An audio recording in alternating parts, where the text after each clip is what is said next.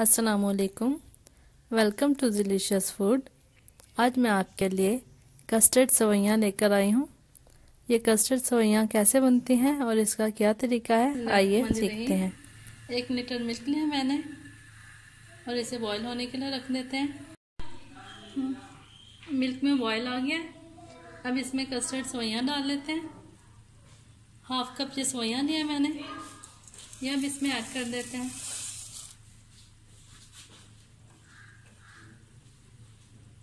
Half cup milk में। अब हम four tablespoon custard powder add कर देते हैं।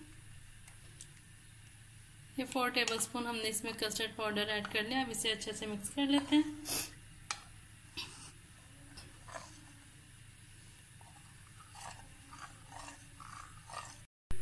मिल्क में हमने जो सवैयाँ ऐड की थी, वो भी सॉफ्ट हो गई हैं।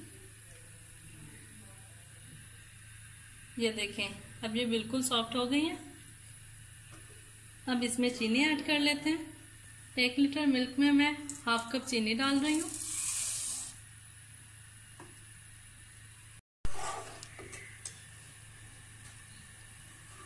अब चीनी इसमें अच्छी तरह से डिज़ोल्व हो गई है। अब इसमें हम कस्टर्ड पाउडर भी ऐड करेंगे और उससे पहले इसमें बादाम ऐड कर लेते हैं।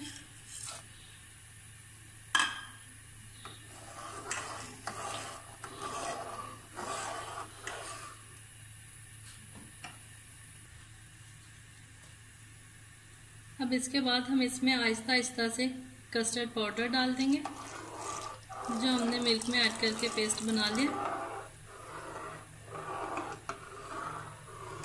और साथ साथ ही इसमें चम्मच हिलाते जाएँगे।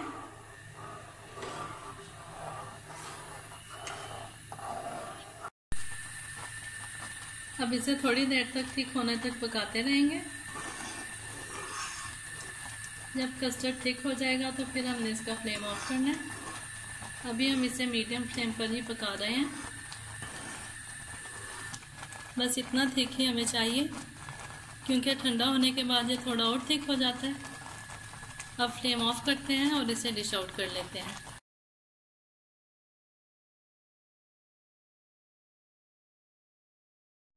अल्हम्दुलिल्लाह, सिर्फ़ चंद मिनटों में ही हमने ये मज़ेदार कस्टर्ड सवैयाँ तैयार कर ली। आप भी ज़रूर ये ट्राई करें और मुझे फ़ीडबैक देकर बताएँ कि आपकी ये रेसिपी कैसी बनी। तो यह है मेरी बहुत आसान और बहुत जल्दी तैयार हो जाने वाली कस्टर्ड सवैयों की रेसिपी उम्मीद है आप सबको बहुत पसंद आएगी। किसी भी सवाल के लिए आप मुझे कमेंट्स कर सकते हैं। इसके अलावा मज़ेदार रेसिपीज़ के लिए डिलीशियस फ़ूड को सब्सक्राइब करें। हमारे फेसबुक और इंस्टा पेज भी फॉलो करें।